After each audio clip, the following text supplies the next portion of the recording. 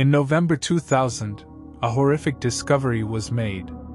A decapitated body was found in a forest near Kiev, Ukraine. This gruesome discovery set off a nationwide outcry, demanding justice and answers.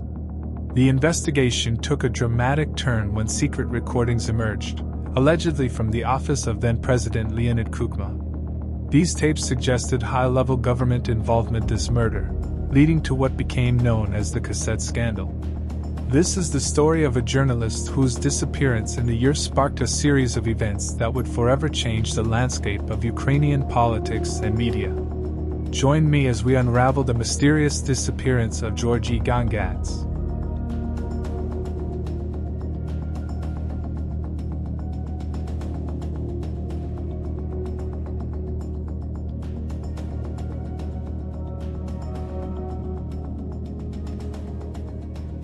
Georgy Gongadze was born on May 21, 1969 in Tbilisi, the capital of the Georgian Soviet Socialist Republic, to a Georgian architect and a Ukrainian dentist from Lviv. Gongadze had a twin brother who was kidnapped from the hospital shortly after their birth. He was an exceptional athlete during his school years, making it to the Soviet Reserve Olympic team for the 100 and 200 meters. Growing up in the Soviet Union during a time of great political change, Gongadze was exposed to the complexities of power and governance from a young age. His upbringing in a society marked by censorship and propaganda played a crucial role in shaping his values and his unwavering commitment to truth and transparency. Fluent in Ukrainian, Russian, Georgian, and English, he enrolled in the Foreign Languages Institute in Tbilisi in 1986 specializing in English. However, his studies were interrupted in 1987 when he was drafted into the Soviet border troops, serving in Turkmenistan near the Iranian border. In May 1989, Gongadze was discharged from the border troops. In 1989 and 1990, Georgy traveled to the Baltic states and Ukraine in an attempt to drum up foreign support for Georgia's independence from the Soviet Union. As part of his tour, in September 1989 he attended the First Congress of the People's Movement of Ukraine in Kiev, where he represented for Free Georgia. In 1992, Georgi Gongadze established the Georgian Culture Association in Lviv, named after the Bagrationi dynasty, functioning as an informational center. It was during the registration of this organization that he met Myroslava Petrosyan, who would become his second wife. Together, they co authored an article about the Georgian Civil War titled Tragedy of Leaders, published in the Lviv newspaper Post-Postup. Later that year, Gongadze returned to Tbilisi to visit his mother, a nurse working in a hospital.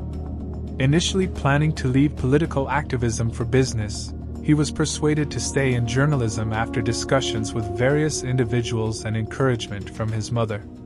Influenced by these events, Gongadze created a documentary titled The Pain of My Land, focusing on the Georgian Civil War.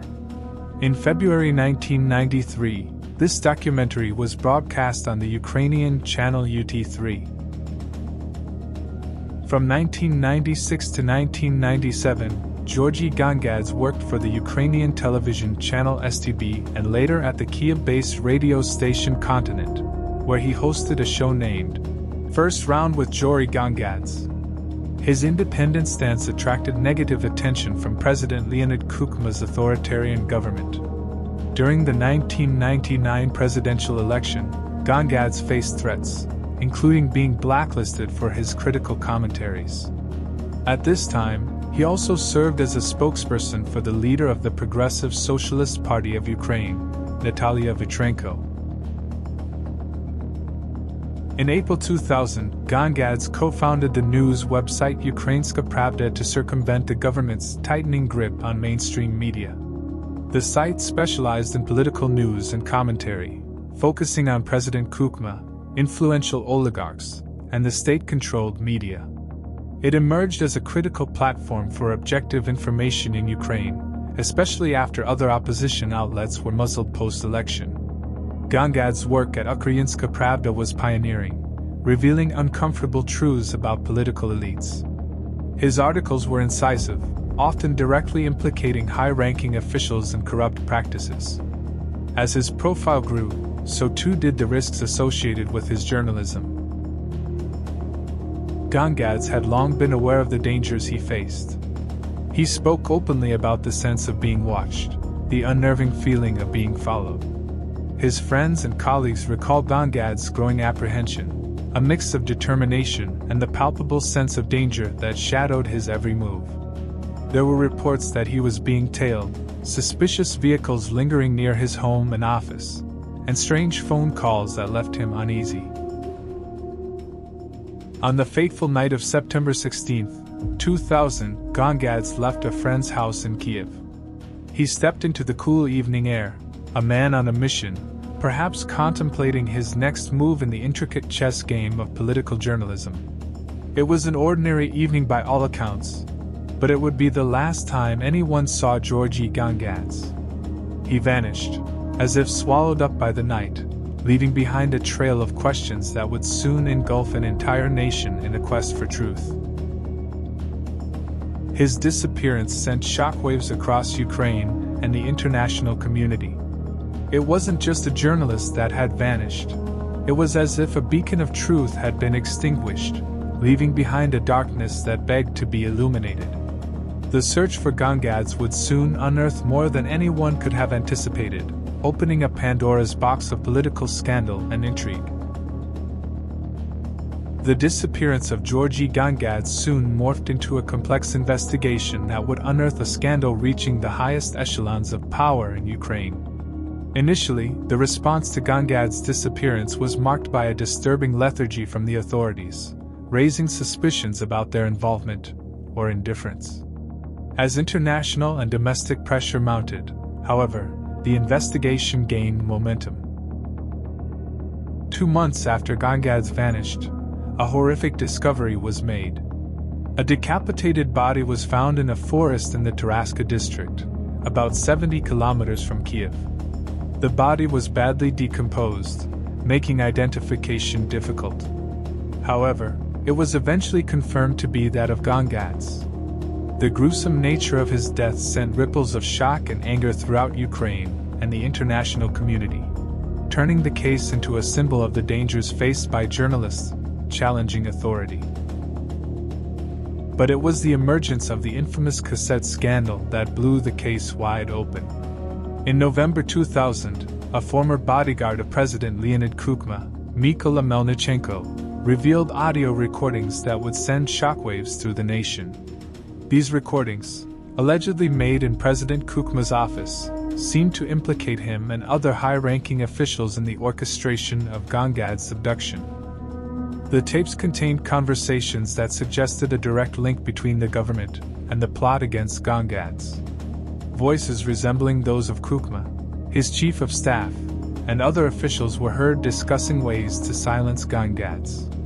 The gravity of these revelations was astounding. They suggested not just a cover up, but a state sponsored assassination of a journalist. The fallout was immediate and intense. The so called cassette scandal plunged Ukraine into political crisis. Massive protests erupted, with citizens demanding accountability and transparency from their government. The incident became a catalyst for the Orange Revolution in 2004, a pivotal moment in Ukraine's journey toward democracy. In the ensuing investigations, several individuals were arrested and convicted in connection with Gongadze's murder between 2001 and 2011. In May 2001, Interior Minister Yuri Smirnov announced that the murder had been solved. It was attributed to a random act of violence committed by two hooligans, with links to a gangster called Cyclops. Both of the killers were said to now be dead. The claim was dismissed by the opposition and by the government's own prosecutor general, whose office issued a statement denying Smirnov's claims.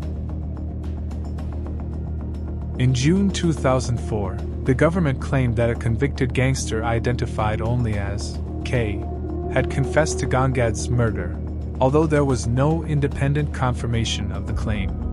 The ongoing investigation received a setback when a key witness died of spinal injuries apparently sustained while in police custody. Gongadze's death became a major issue in the 2004 Ukrainian presidential election, in which the opposition candidate Viktor Yushchenko pledged to solve the case if he became president.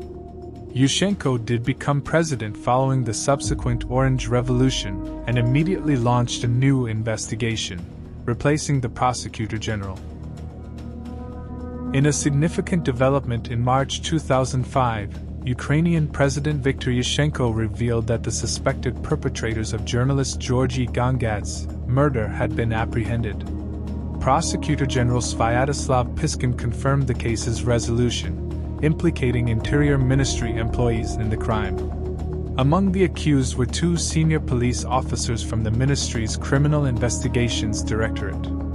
The plot thickened with the involvement of former Interior Minister Yuri Kravchenko, who was found dead under mysterious circumstances, sparking debates over the nature of his death. Amidst swirling allegations, Kravchenko left behind a note claiming his innocence and pointing to political machinations at the highest level, involving President Leonid Kuchma, who has consistently denied these accusations. In mid March 2008, the three former police officers were sentenced to prison for the murder of Gongadze. Mykola Protasov was given a sentence of 13 years, while Valery Kostenko and Oleksandr Popovych were each handed 12 year terms. The other main suspect, ex police officer, Oleksiy Pukach, was believed to have fled abroad and therefore charged but not on trial. In a pivotal turn in the long standing mystery of journalist Georgy Gongadze's murder, July 22, 2009, marked the arrest of ex police officer Oleksiy Pukach in Zhytomyr Oblast. Pukach, who had a significant role in the Ukrainian Interior Ministry, was found living a deceptive normalcy in the residence of Lydia Zagorolko. Initial reports buzzed with Pukach's alleged confessions implicating high ranking officials and his knowledge of the whereabouts of Gongadze's missing head. However, this narrative took a twist as Pukach's lawyer refuted these claims. The plot thickened when, near Bila Tserkva, fragments of a skull were discovered, potentially linking back to Gongadze, as per Pukach's directions. This discovery only deepened the intrigue surrounding the case. Amidst legal and political turmoil, Gongadze's mother, Olesya, remained skeptical of the findings, questioning their authenticity.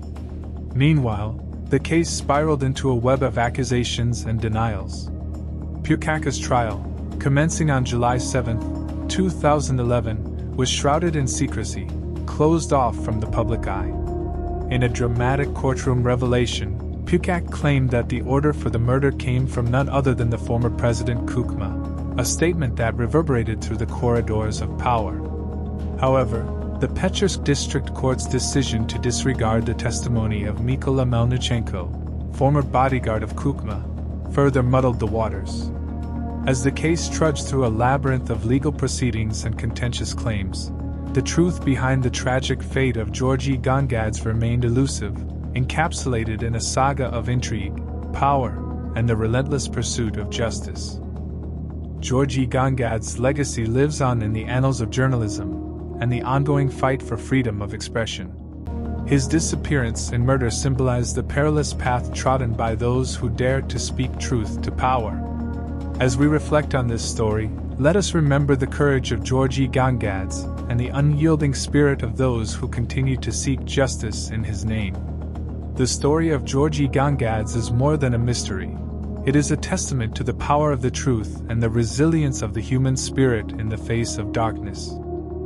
Thank you for joining me on this journey into one of Ukraine's most enduring mysteries. Until next time, keep seeking the truth.